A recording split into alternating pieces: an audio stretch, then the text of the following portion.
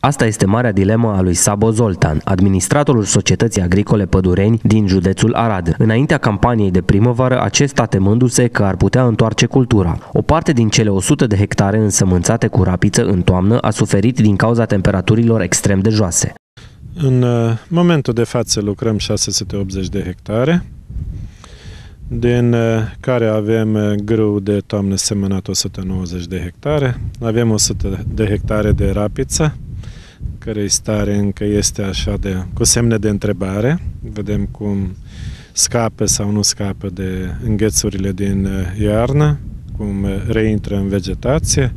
Am 30 de hectare de orzaică, avem 25 de hectare de lucernă, iar diferența vor fi din culturi de primăvară cu precădere porumb pentru babe, porumb pentru silos, floarea soarelui și mai semănăm ceva cultură de leguminoase.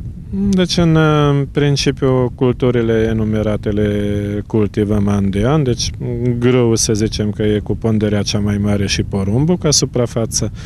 Anul trecut am avut o toamnă ploioasă, ne-am reușit să înființăm culturi de toamnă câte ne-am propus și așa rămâne, a rămas suprafață mai mare pentru primăvară, dar în general jur de 300-350 de hectare cultiv cu păioasă. Acum am mai cultivat și rapiță în anul trecut și acum azi 2 ani.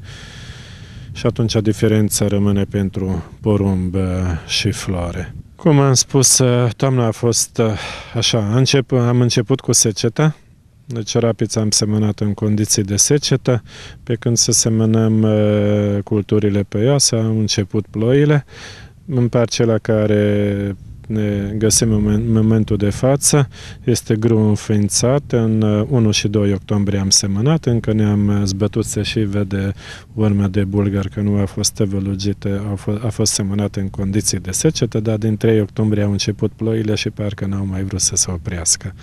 Și pe zona noastră, în condiții de perioade ploioase, se lucrează mai greu sau, sau deloc și din cauza asta avem și gru înființate, semănate mai târziu, chiar până în sfârșitul lunii noiembrie, unde starea de vegetație este mai, mai slabă decât aici. Și rapița ne-a răsărit destul de târziu, a intrat destul de, de mic în iarnă și de asta am emoții și îndoiele să vedem ce pierdere avem la cultură rămân cu speranța că totuși uh, pierdem din densitate, dar nu pierdem toată cultura. Pentru Societatea Agricolă Pădureni, anul agricol 2016 a fost unul deosebit cu vârfuri de producție atât la grâu cât și la rapiță, iar la porumb a fost cu adevărat excepțional. La grâu s-a înregistrat o producție medie de 5,7 tone, la rapiță 3,5 tone, iar la porumb s-au recoltat în jur de 11 tone la hectar în medie. Acum, anul trecut, foarte bine am ieșit cu rapița și am ieșit bine cu porumbul la producțiile astea deosebite de porumb. Porumbul mie personal îmi și place ca și cultură, dar tot așa, în urmă cu 2 ani, porumbul ne-a, ne-a tras foarte mult în jos, că a fost o secetă și o arșiță deosebită și am făcut producții foarte slabe și din cauza asta anul trecut am încercat să avem suprafață cât mai redusă de porumb și nu s-a nimerit pentru că a fost un an deosebit de, de porumb. Cu valorificarea, cum v-ați descurcat? Cum au fost prețurile?